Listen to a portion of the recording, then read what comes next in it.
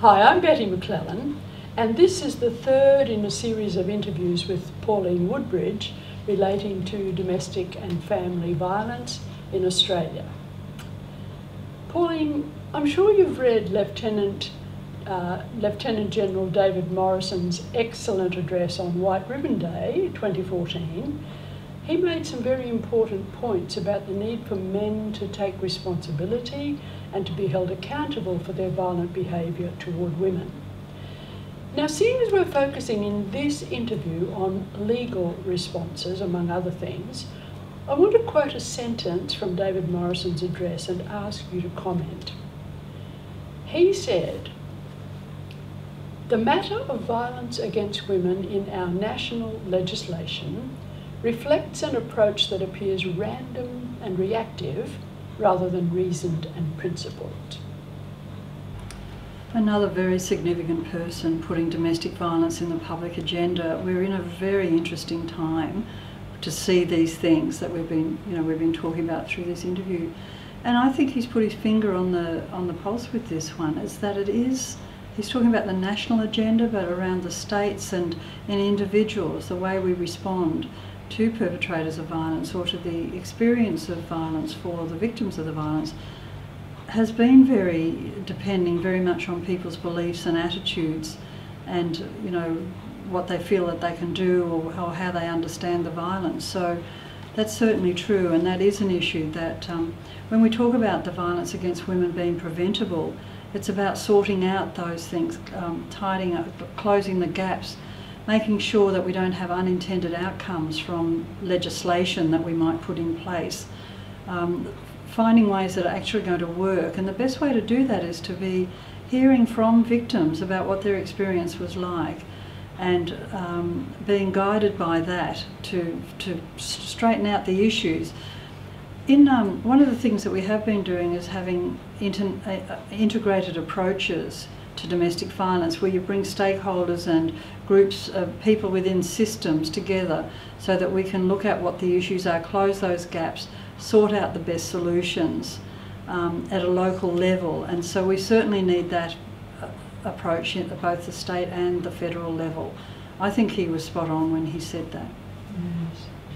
Okay, now can you take us back, Pauline, to the 1970s and give us a brief rundown on the federal legislation enacted by Australia's various governments? Well, the 1970s, of course, was a time of great women's activism. It was the time where women were really coming out and saying the condition of women in post war Australia, in a time of prosperity, where women were um, wanting to enter the workforce, where women were wanting um, a stop to things like violence against women, where women wanted to be able to work, walk the streets safely without the fear of rape, sexual assault. It was a time of great activism, and that activism led to a lot of things occurring. But I think at that time, government policy was really lagging behind.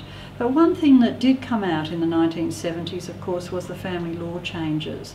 And that was where Australia ended up with no fault divorces. And that again was a time of great chaos and protest and action and activism because um, the more conservative parts of Australian society were just saying that we can't have that, that um, it would actually take away some of men's rights, that if women had no fault divorces and that we would, it would be the end of the Australian family. It was predicting the end of uh, life as we know it at that time. Mm. And what about Queensland, Pauline, this state that we live in? Um, talk a bit about the various task forces and inquiries held by uh, our state government and the legislation enacted over the years.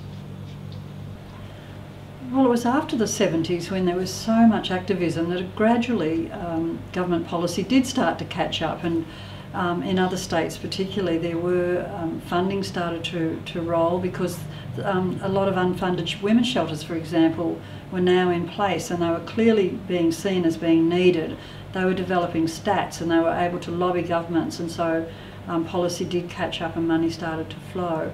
And here in Queensland that occurred as well.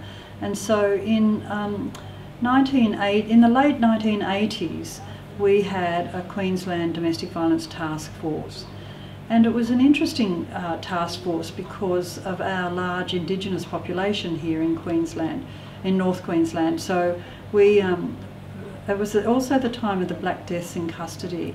And so Aboriginal women did not want their, their, their abusers, their husbands and partners and sons and so on, who were using domestic violence against them, to face criminal charges and to be jailed because of the Black, Black Deaths in custody problem that was being experienced at that time.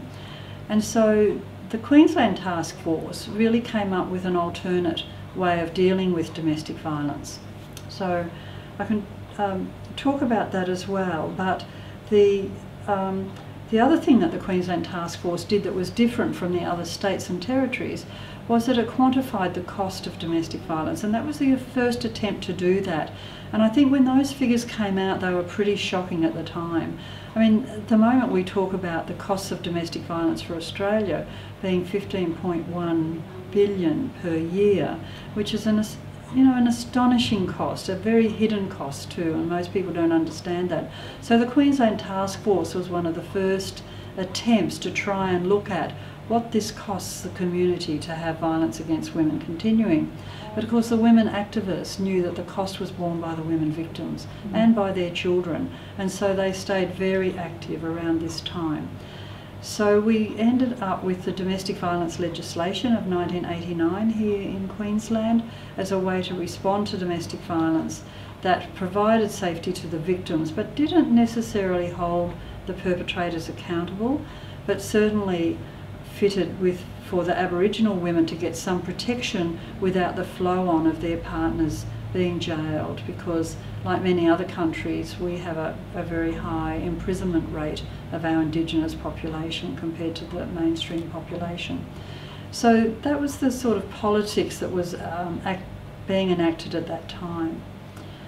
But last year we also, Queensland set out on another domestic violence task force and that has been operational as we speak and we're still and we're expecting very shortly for the results of that to come out.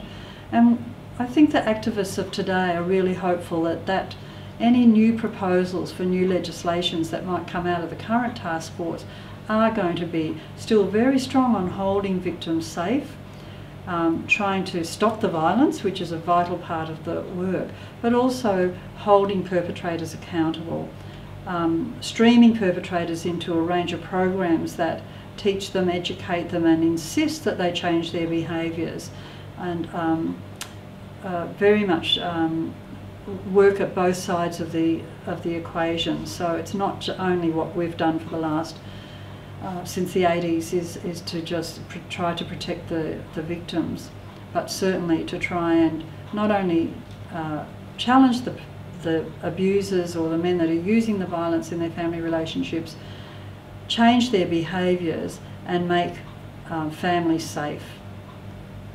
Make women feel like I can risk forming a relationship with a man because, you know, if he does use domestic violence, it's going to get nipped in the bud very quickly. Like uh, we were talking before about, it won't be random, it'll be really, you know, something that is going to happen and that um, that the police will be very active, the courts will be very active, and everyone will work together towards saying that violence is not tolerated. Violence against women is absolutely preventable, and here in Queensland we're working very hard to ensure that no more women are killed and that women and children are not hurt. Now, Pauline, I'm interested to move on from this discussion of parliamentary and legal responses to look at feminist responses to men's violence against women. How has the feminist movement responded? Um, I'd like you to comment here on both the analysis undertaken by feminists over the years and the practice, uh, the practical responses to the phenomenon of domestic violence. Well, Betty, the feminist analysis and the practice are really interlinked. One really doesn't make a lot of sense without the other. So, you know, the activism, I suppose, of the earlier times we talked about were raising awareness, were making demands, were putting domestic violence and violence against women on the public agenda. And so as when money flowed and services were set up, the feminist practice was the ideal way to respond to the women who were victims of violence and to have a really good analysis of why perpetrators are doing what they're doing and about the best way to stop them. So, from a feminist point of view, um, domestic violence is situated within the society that we live, the way that men are socialised and the way that women are socialised into an unequal power structure. And we still have remnants of that unequal power structure around us today. And so we still have domestic violence, but we have made some inroads. But it is thanks to the feminist work and the feminist analysis that we've got any decent understanding about what's going on. And the feminists are the one that lead and who are out in front to try and help the mainstream, the, the ordinary population, the ordinary people in our society, but the mainstream responders as well to understand what domestic violence is all about. So we're really working very hard to help people understand that it's not about a poor man who had a poor upbringing. Lots of people have poor upbringings, live in poverty, have experienced trauma in their lives or really, you know, lost parents and it was traumatic for them and so on.